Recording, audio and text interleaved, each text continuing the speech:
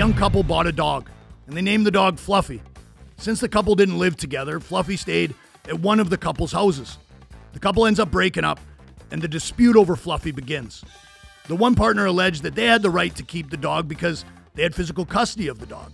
The other partner alleged that they were the sole caregiver, which involved purchasing Fluffy's necessities and paying veterinary bills. Who do you believe was awarded custody of the dog? Do you believe either of the parties was awarded money damages? You be the judge.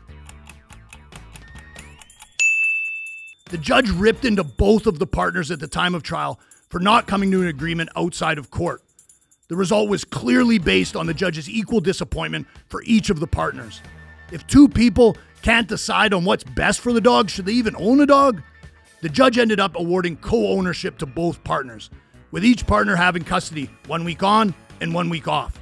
All right, everyone, remember to make good decisions out there so you don't find yourself getting judged by me, Big B.